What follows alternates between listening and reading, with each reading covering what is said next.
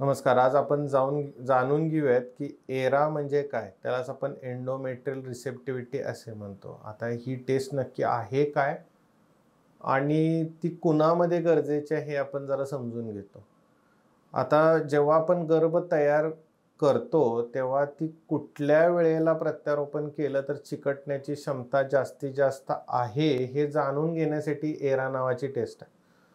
तर याच्यामध्ये विविध गोष्टी करण्यात आले की पहिल्यांदा सोनोग्राफीद्वारे आपण विचार करत होतो की जाडी रक्तप्रवाह गुणवत्तावर किंवा तुकडा काढून आपण त्याच्यामध्ये कुठल्या पद्धतीच्या काय पेशी आहेत ते बघत होतो. पण शेवटचं आहे ते एरा म्हणजे त्या तुकड्यांमध्ये जरा गुणसूत्र बघून आपण निर्णय घेत होतो की कधी चिकटण्याची वेळ सगळ्यात चांगली. तर जर तुम्ही पाहिलं तर ह्याच्यामध्ये जी सगळ्यात स्पेसिफिक आणि जी चांगली टेस्ट आहे ती एरा आहे. आपण सोनोग्राफीवरती किंवा तुकड्यामध्ये पेशींच्या स्वरूपावर अजिबात निर्णयाला नाही जाऊ शकत की कधी चिकटण्याची वेळ सर्वात चांगली आहे. जर एक छोटं उदाहरण द्यायचं म्हटलं तर एक दहा मुलांची शिकवणी आहे. त्यामध्ये असं आहे की सात मुलांना एक दिलेलं पान आहे ते दहा मिनटात समजते. दोन मुलांना वीस मिनटात समजते आणि एका मुलाला कधीच समजत नाही. जर अशी परिस्थिती असेल आणि समजा की जर मी बाराव्या मिनिटाला परीक्षा घेतली तर किती मुलं पास होणार? तर सात मुलं पास होणार. तेच जर मी बावीसाव्या मिनिटाला परीक्षा घेतली तर नऊ मुलं पास होणार. म्हणजे जी दोन मुलं पहिल्यांदा नापास होत होते ते हुशार नव्हते असं नाही आहे पण त्यांना समजायला थोडासा वेळ लागत होता.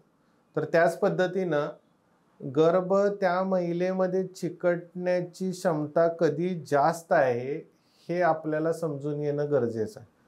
सर्वसाधारणपणे आपण अठरा ते तेवीस पाळीच्या या दिवसांमध्ये चिकटण्याची क्षमता जास्त आहे असं समजतो पण हे सत्तर ते ऐंशी टक्के महिलांसाठी योग्य ठरतं. पण एक वीस ते तीस महिलांमध्ये ही चिकटण्याची वेळ वेगळी असते. त्यामुळे आपण जर या कालावधीमध्ये गर्भाशयाची पिशवी तयार करून जर प्रत्यारोपण केलं तर तिला गरोदरपण येणार नाही.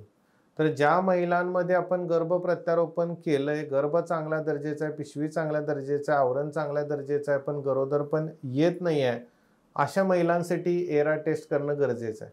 तर जेव्हा आपण हा तुकडा काढून पाठवतो तेव्हा असा एक स्पेसिफिक पॅटर्न निघतो. तर हा जो पॅटर्न आहे हा जो पॅटर्न आहे तो आपल्याला सांगतो की गर्भ चिकटण्याची क्षमता या पॅटर्नमध्ये सगळ्यात जास्त. रिपोर्ट निघताना यामध्ये जर आलं तर इथून किती कालावधीनंतर हे आहे? किंवा यामध्ये आलं तर इथून किती कालावधीनंतर चिकटण्याची क्षमता असा रिपोर्ट येतो. आणि पुन्हा पुन्हा ज्यांना गर्भ सोडून चिटकत नाही आहे तर ह्यांच्यामध्ये अशा पद्धतीची एरा टेस्ट केली तर आपल्याला चिकटण्याची वेळ कधी आहे ते आपण कायम करू शकतो. आणि त्याचवेळी जर आपण प्रत्यारोपण केलं तर चिकटण्याची क्षमता जास्त आहे. अशा विविध अत्याधुनिक टेक्निक आपल्याकडे उपलब्ध आहेत ज्याचा आपण पूर्णपणे वापर करून तुम्हाला जास्तीत चांगला निकाल देऊ शकतो. तर जर तुम्ही पुन्हा पुन्हा आय व्ही एफ करून गरोदर पण हो येत नाही आहे तुम्हाला किंवा काय प्रॉब्लेम असेल तर आपल्याला हे एरा करून त्याची चिकटण्याची वेळ कायम करायला पाहिजे आणि मग प्रत्यारोपण करायला पाहिजे. तर याबद्दल आणि माहितीसाठी निश्चितच नोवा आय व्ही एफला संपर्क करा.